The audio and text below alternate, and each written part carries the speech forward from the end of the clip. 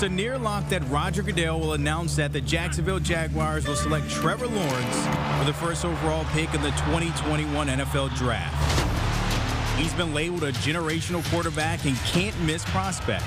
In the modern NFL history, there have been several quarterbacks to get that label. There was John Elway, which did not work out for the Baltimore Colts so much at that time, but certainly paid off for the Denver Broncos.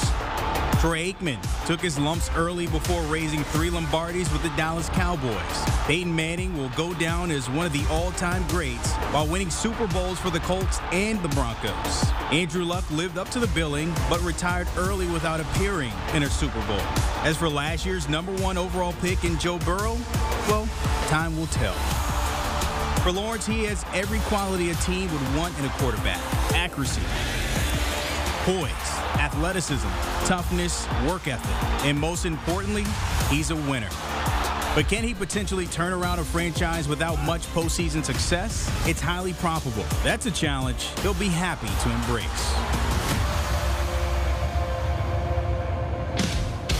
What's understood ain't got to be explained. Trevor Lawrence looking for some real estate in the greater Jacksonville area. I hear Ponte Vedra Beach is nice this time of year. The Clemson product expected by all to go number one to the Jags. Beyond that, more quarterback play. Zach Wilson will likely head to the New York Jets. And then at number three, Mac Jones possibly becoming a San Francisco 49. Only a few more mocks between us and the real thing. Let's welcome in our guy, CBS Sports Draft expert Ryan Wilson. Uh, Ryan, as we grow closer to draft day, little smoke screens start to pop up here and there. Uh, we've wrestled over the two through five with the general assumption that Trevor Lawrence's name is already written in Sharpie on the Jags card at one. Is there any reason to believe that that assumption could be wrong? No, no. I'm trying There's, here. Look, here's how here's how I'll put it, Joe. There's a better chance of me winning the Masters Part Three next year. Better chance of you winning the Masters next year. There's a better chance of Bryson DeChambeau being the starting quarterback for the Tampa Bay Buccaneers next year. There's absolutely no way on God's green earth that uh, Trevor Lawrence isn't going to Jacksonville first overall. I, I just don't see it happening.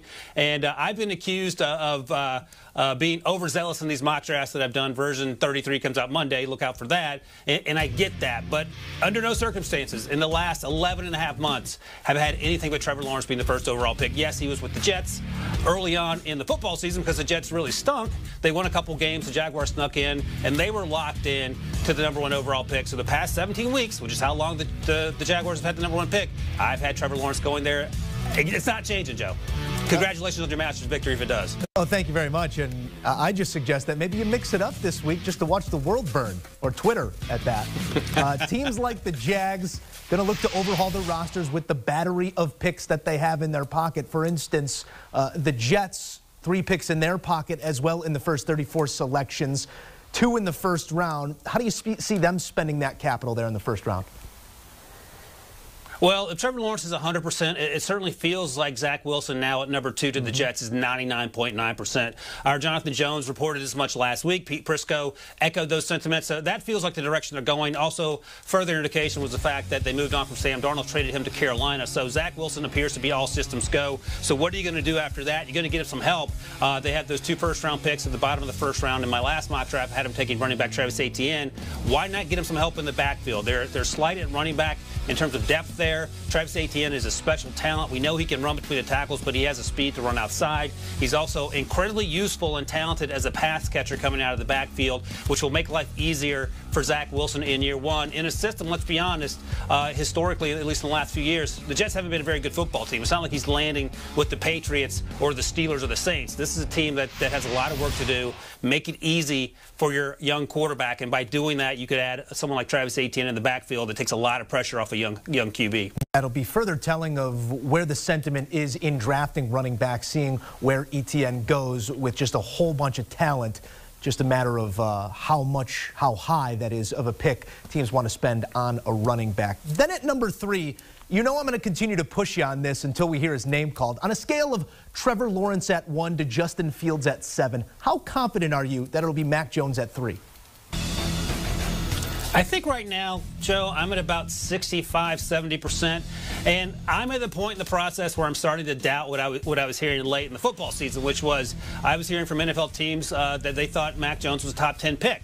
So I said it at the time, and people sort of looked at me sideways and laughed and thought I was crazy. And then the 49ers traded up a few weeks ago to number three, and everyone sort of uh, was a little more attentive and, and, paying attention to what they might do. And it feels like Mac Jones is, is going to be their guy. You hear reports from elsewhere uh, around the league that Mac Jones appears to be the target at number three. We'll see. We'll find out. This could be the greatest smoke screen uh, in recent memory. Maybe it's Justin Fields or, or Trey Lance. But, you know, I, have been saying it for a while. Mac Jones does a lot of things that NFL teams like. He doesn't make a lot of mistakes. He knows where to go with the ball before the snap. He knows how to adjust if there's some changes on the defense as the play unfolds, and that's attractive to a lot of teams. There is no sort of projection about what he'll look like at the next level, and I say that knowing that Mac Jones only started 17 games. It sounded like he was a four-year starter. He's not Kellen Mond for example, out of Texas A&M, who played all four years there. He came in when Tua got hurt late last year with the hip injury, played in the bowl game, played pretty well, then had a fantastic season to the point that he outplayed Tua in his final year at Alabama compared to what Tua did on his way to being a top five pick for the Dolphins. So uh, could he go there at three? It feels like it, but I don't want to, you know, count my chickens before they hatch to sound like my grandmother. We'll see what happens. I don't hate the pick there. You could argue that maybe San Francisco gave up too much to get up there and get Mac Jones or even Justin Fields, who, is, who it ends up being. But I think Mac Jones is going to be a really good NFL player, even though uh, Twitter appears not to quite like him as much as I do. Yeah, I'm not sure general consensus is where John Lynch and Kyle Shanahan are putting their eggs uh, when they count. They're going to go with the guy that they want. Uh, we also had the Panthers circled at eight to dip their toe into the QB pool as well, but after the trade for Sam Darnold, that comes squarely into question. Could you still see Carolina drafting a young arm, and if not, which direction do they head? So I don't, Joe, and, and, here's why. And this is why I also think that the 49ers are leaning towards Mac Jones. Because as soon as that happened, we heard, we heard reports that the Falcons were interested in moving down from four, and there's no way that the Panthers were going to be able to trade with the Falcons anyway because they're in the same division to move up from eight.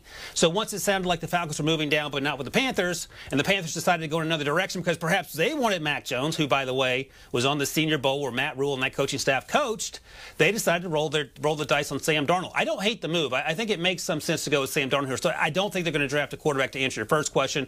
Where might they go if Sam Darnold is, is in the plans? And he clearly is because they traded for him. I gave him a wide receiver in Jaylen Waddle out of Alabama, who is arguably the most dynamic player in this draft class. Is he better play play by play than DeVonta Smith, is teammate at Alabama? No, I don't think so. But I think his upside is such uh, that it makes it worth the gamble here at eight. And NFL teams, fair or not, will ding DeVonta Smith for weighing 170 pounds and being six foot one. That's unfair because he wasn't even hurt at Alabama, except the finger injury, which has nothing to do with how much he weighs. But I think Jaylen Waddle comes in, four down player, can return kicks, and adds an element to that offense that that uh, Sam Darnold could certainly use to go along with what they have in Robby Anderson, DJ Moore, and of course Christian McCaffrey. A lot of teams trying to reroute their franchise through the draft and through this crazy free agency period it's been in the offseason. But teams are also trying to mitigate risk here, and there are varying levels of knowns and unknowns with these commodities. And we're talking about Trey Lance in this instance. He might not be the low floor guy or high floor guy, but he is a high ceiling guy. Teams like what he brings in the sense of athleticism and what he could be at the next level. Where do you see a match or, or a fit for Trey Lance?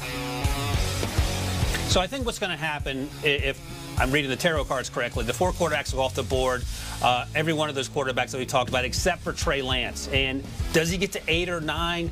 Uh, that's the question. If he gets to nine, does a team like the Denver Broncos want to take a flyer on him if they're not sold on Drew Lock? And Drew Lock has had an up and down two seasons, former second round pick, and the, the, the new regime in the front office may want to go in a different direction. If he gets past nine, perhaps there's a run. Uh, there's a, a group of, of, teams that might be interested in trading up, like the, the, the New England Patriots, uh, your Chicago Bears, the Washington football team reportedly loves Trey Lance. The Steelers and the Saints are also in the mix there at the bottom of round one. So I think it could be any number of five or six teams. But in this last mock draft, I had the Broncos saying, you know what?